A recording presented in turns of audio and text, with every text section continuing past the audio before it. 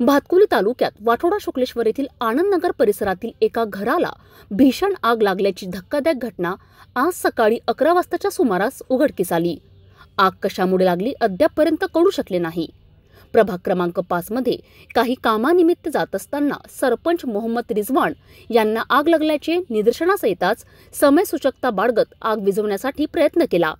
परिसरातील नागरिकांनी धाव घेत आगीवर नियंत्रण आणलेत.